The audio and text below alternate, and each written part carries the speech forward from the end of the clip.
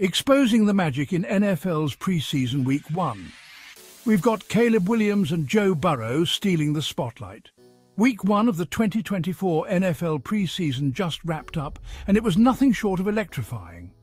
Caleb Williams, the number one overall pick, made a dazzling debut for the Chicago Bears. With 95 passing yards and leading two field goal drives, he showed why he's been the talk of the town.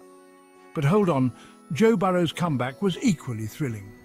After a season-ending wrist injury last November, he returned with a bang, completing five of seven passes and throwing a touchdown to Tee Higgins. The Bengals may have lost, but Burrow's return is a win in our books. It wasn't just these two shining stars. Rookie quarterbacks like Bo Nix and J.J. McCarthy also made their mark, promising an exciting season ahead. Stick around for more explosive NFL updates.